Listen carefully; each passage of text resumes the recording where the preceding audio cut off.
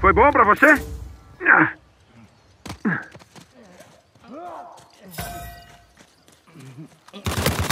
Foi na conta! Cara, tô assustado comigo! Você mereceu! Ah.